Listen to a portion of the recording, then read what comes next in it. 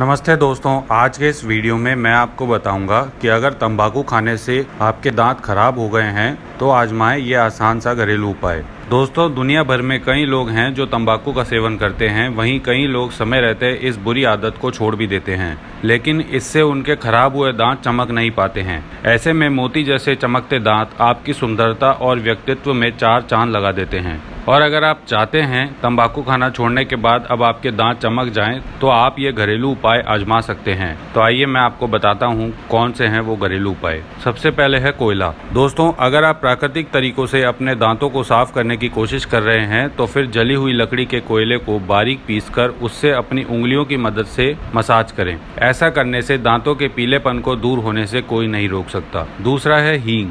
दांतों को सफ़ेद करने के लिए आप रसोई में पड़ी हींग का इस्तेमाल कर सकते हैं। इसके लिए आपको कुछ ज़्यादा नहीं करना है, बस इतना करना है कि हींग पाउडर को पानी में उबालकर ठंडा करना है। अब दिन में दो तीन बार इस पानी से कुल्ला करें, ये नुस्खा आपके दांतों का दर्द भी कम करेगा और दांतों में चमक भी आएगी। तीसरा है नमक और सरसों का तेल। नमक से दांत साफ़ करने का सबसे पुराना उपाय है। इसके लिए नमक में दो से तीन बूंद सरसों का तेल मिलाकर दांत साफ़ करें, आपके दांत चमकने लगेंगे। चौथा है नमक से साफ़ करें। दांत को बेहतरीन दिखाने के लिए एक नींबू के छिलके में एक चुटकी नमक लगाकर उससे दांतों को रगड़ें। इससे दांतों के धब्बे चले जाते हैं। दरअसल नींबू में विटामिन सी होता है और नमक आयुर्वेद के अनुसार गंदगी को साफ़ करता है। इसलिए यह दांतों के लिए अद्भुत माना जाता है। पांचवा है गाजर का सेवन करें।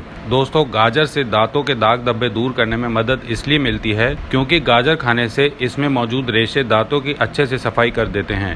दांतों को कोनों की गंदगियों को जल्द दूर करने में सहायक होते हैं।